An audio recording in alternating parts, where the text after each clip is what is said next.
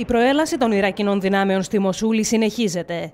Πολλές περιοχές στα βόρεια της πόλης σφυροκοπήθηκαν και οι τζιχαντιστές του Ισλαμικού κράτους χάνουν έδαφος. Το έργο των μονάδων άμεσης ανταπόκρισης δυσχεραίνουν οι άσχημες καιρικές συνθήκες που επικρατούν στην περιοχή. Οι κυβερνητικές δυνάμεις έχουν φτάσει και σε περιοχές στα δυτικά της πόλης, που είναι και το τελευταίο όχυρο των τζιχαντιστών. Αξιωματούχοι του Ιρακινού στρατού αναφέρουν ότι είναι θέμα χρόνου να πέσει η πόλη.